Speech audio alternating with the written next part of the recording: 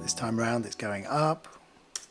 So what you get is something of a clash or a, a, a it's a crushed note idea. The two notes are jutting up against each other really closely.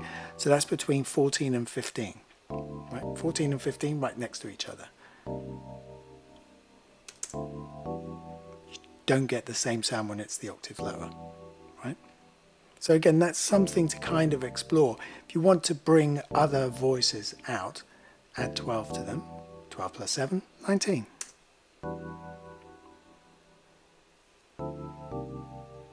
Right? That's where we're going to. Let's just try one more thing, because that's now made me sort of think, ah, we could do that. Right?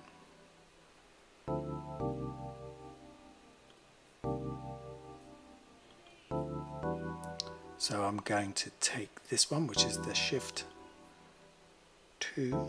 There we go, I found it. It was, it was all the way up there. So let's say we start at, at um, 7, which is here.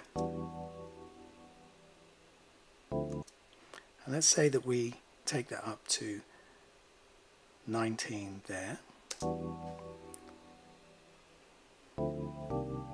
Right? This is how we can we can get a, other sorts of voice sounds sort of in there by automating those voices. So this is just modulating the fifth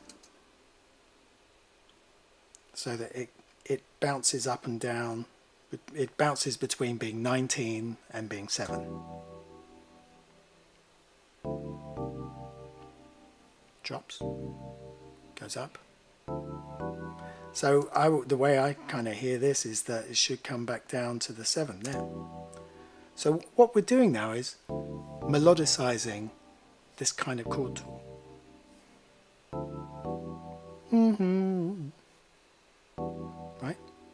Just by modulating one voice, the fifth in this instance. Let's have a look at what that looks like here. Seven.